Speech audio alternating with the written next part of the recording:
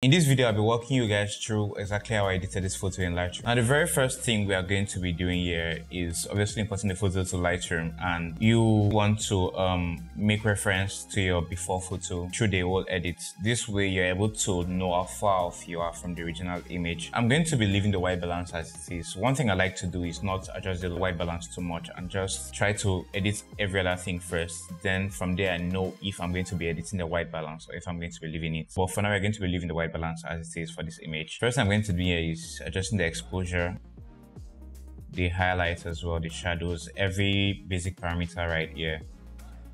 And then the blacks, I don't really like to touch the blacks too much. The whites and blacks are something I always like to leave on its own unless I really have to edit it. For the clarity, I try not to keep it more than 10. And for vibrance, we can add a little, very little bit of vibrance here. So for the contrast, we're going to be reducing the contrast. So that way, see what happens when we, when we reduce the contrast here. That way, some parts of like a skin are more visible here. You can see before and after. Reducing the contrast helps bring out more details in the image, bringing the highlights back down a bit. And then, as usual, we make reference to our before image to see how far off we are here. So far, I've been able to bring out some of the detail right there to make sure that our skin is showing more visibly and everything else is good. Along the line, we'll probably come back to the basic adjustment, but we're going to move further to the tone curve. Still doing the basic adjustments here. I'm going to try lifting the blacks up a bit. We're going to be adjusting the shadows a little bit here. We're going to be lifting it up a little bit just to bring back some of those details as well. And for the midtones, try not to do too much there. Then the highlights, we can bring it down here, a bit here. We're going to be moving over to the red channel, and then we're going to be bringing down the highlights here. Can see what that's in here. adding a little bit of blue in the highlights can see that if we go up here, it's going to be moving over to the red. And if we go down here, it's going to be bringing more blues to the highlights. We're going to be leaving it as it is. Remember to check it before and after. You can see what the tone curve has done so far. So over to the blue channel, I don't really like the adjustments to the uh, green channel here. I usually like to skip that because I don't usually like to add purples or greens to my image that much.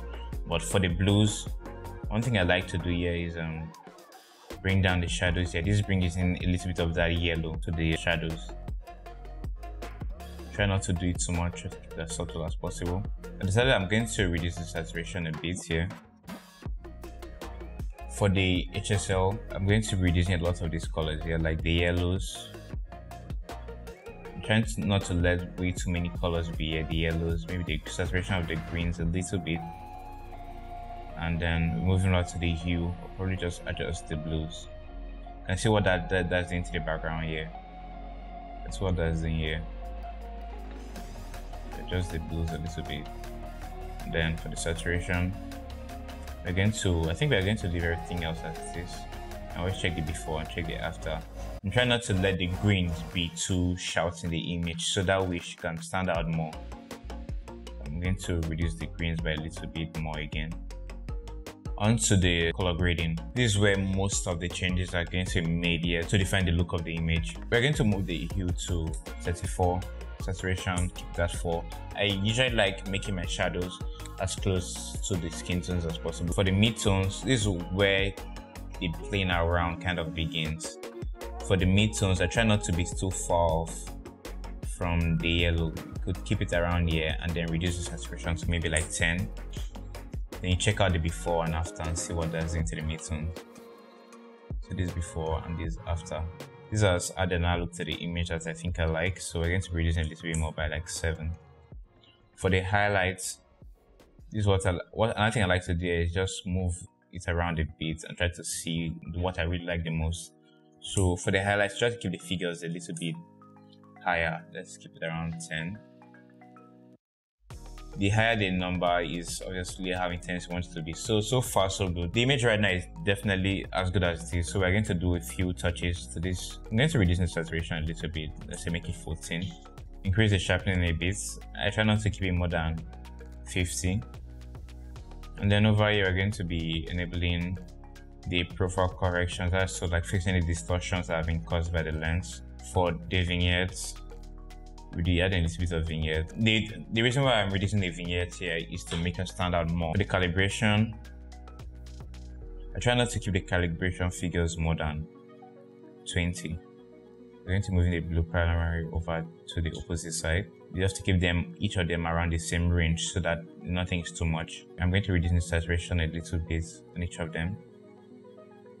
What I did here as a very, very little touch of that orange and teal look. This is a really quick process on how I did my dark skin portraits and what I really like to do with them. After I've done all of the color grading, one thing that I would advise you to do sometimes is you could always go back to the basic adjustments here.